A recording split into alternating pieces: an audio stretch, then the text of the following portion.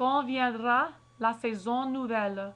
Quand auront disparu les foix tous les deux nous irons ma belle pour cueillir le muguet au bois. Sous nos pieds égrenant les perles que l'on voit au matin trembler. Nous irons écouter les merles siffler. Le printemps est venu ma belle.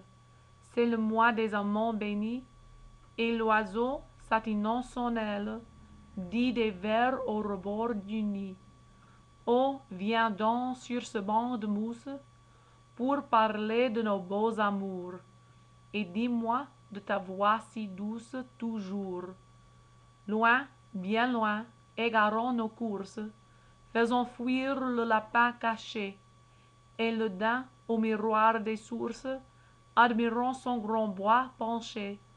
Puis chez nous tout heureux tout un panier enlaçant nos doigts. Revenons rapportant des fraises des bois